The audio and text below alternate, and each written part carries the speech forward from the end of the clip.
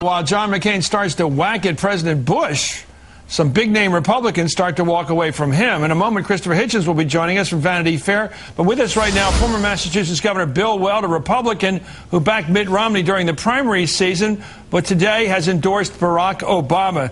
Sir, you're quoted as saying, it's not often you get a guy with his combination of qualities, that being Barack Obama, chief among which I would say is the deep sense of calm he displays, and I think that's a product of his equally deep intelligence. Do you want to expand on that, sir? Well, I, I, think the calm that Barack Obama has demonstrated in the face of having everything but the kitchen sink thrown at him for the last two years is hugely impressive and evidence that uh, he could start Monday as President of the United States. I do think it's linked to the fact that he's obviously uh, a very, very sharp guy. He's also got uh, what I would call a first class political temperament and has reached across the aisle in the past. I think he's very well suited to be uh, sit in that Oval Office. Well, Chauncey Gardiner was calm in being there. I mean, uh, are you sure that that's enough evidence, the calmness? There's, there something else that would uh, point to a direction of, uh, of competence in terms of being an executive of this country?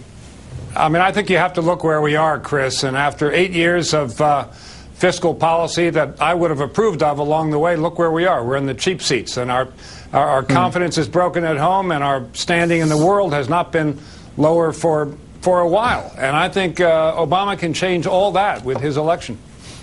Well, you've always been a fiscal conservative. In fact, I think you're a fiscal conservative. That's fair enough to say. Have you, you've always been concerned about deficits and, uh, and keeping budgets balanced and sort of a traditional conservative view of things. What happened to this administration and why is it off course?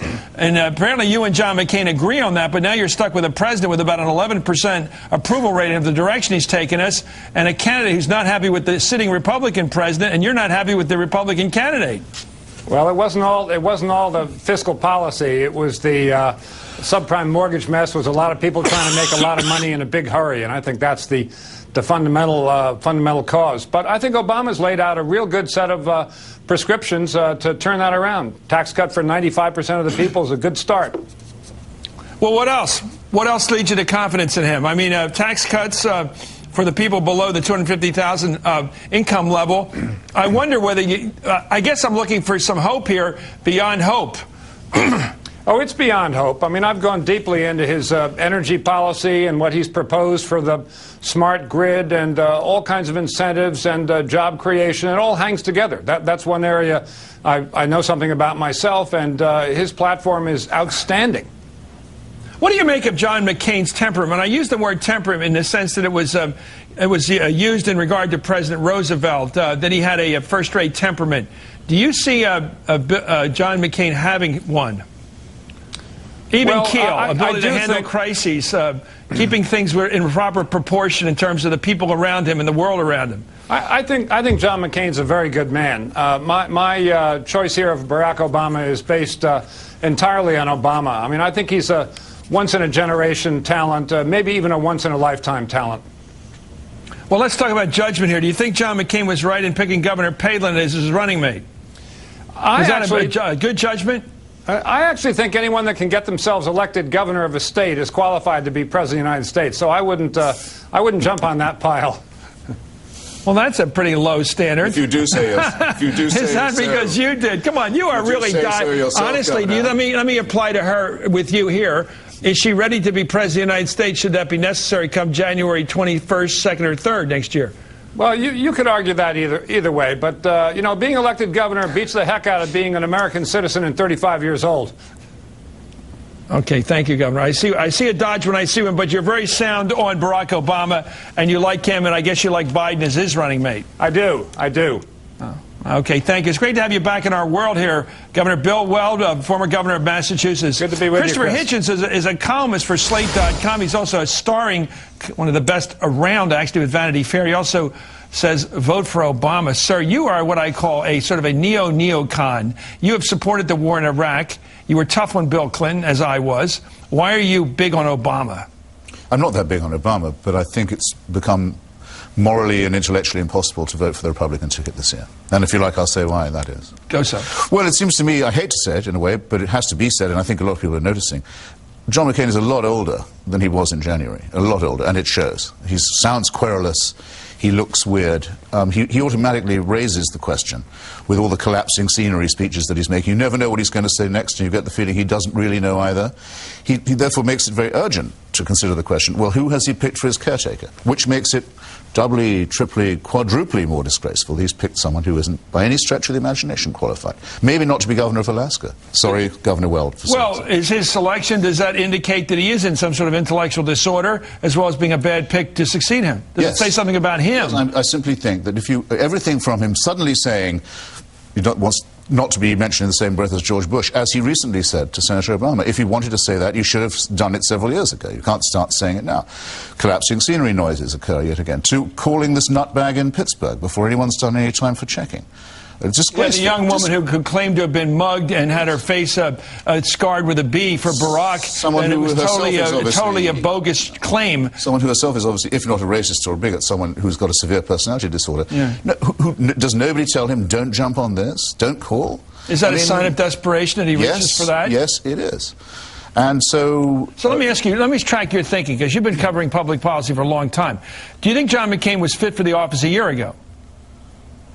Just about, I, I suppose. I What I- it changed? didn't- well, it The didn't, stress sorry. of campaigning? It's a, it's a hard thing to say, and I, uh, I think there's a big difference to be made between, or enforced actually, between being a veteran, being old, being experienced, and simply being elderly and, and borderline uh, senile.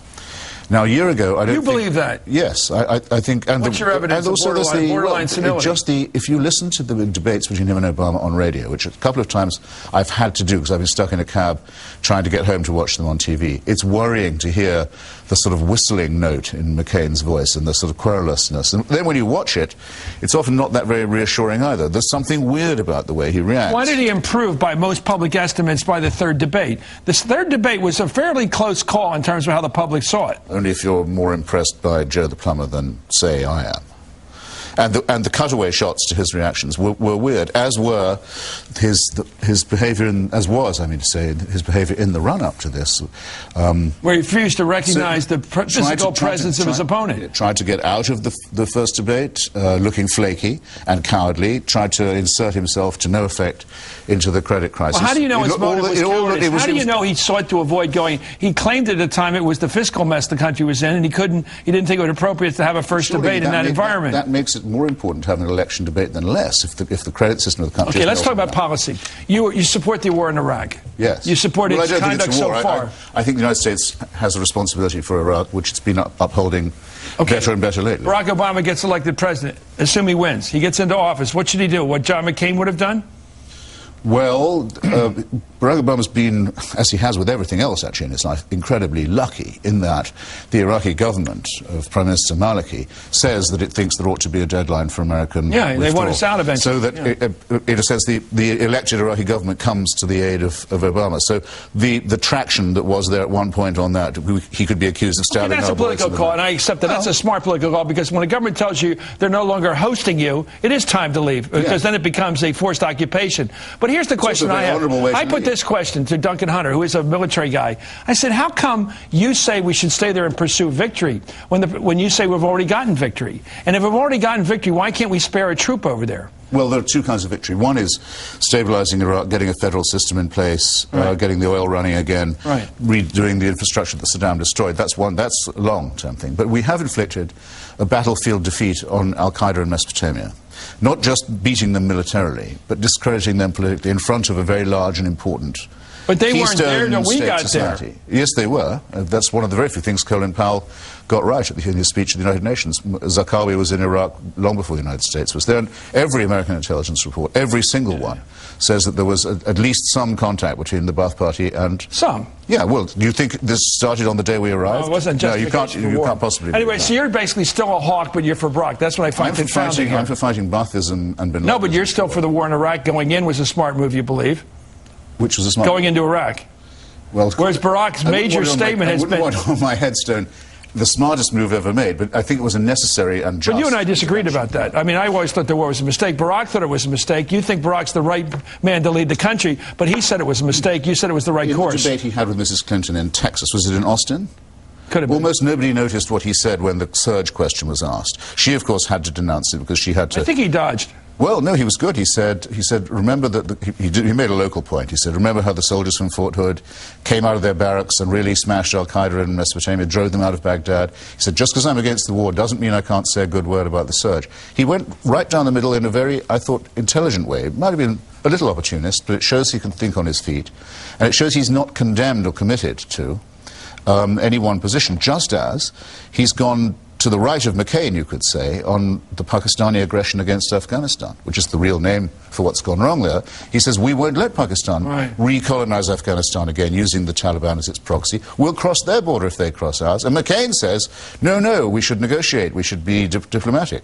So I, I don't think the MoveOn.org people have realized how much war Obama has, in theory, committed them to. But this Yeah, is not, this is not a guy who's just trying to avoid the hard question. You know what I find interesting, Christopher, because you are one of the best thinkers around. I find it interesting that both men of the right and women of the right and, and men of the left and women of the right and women of the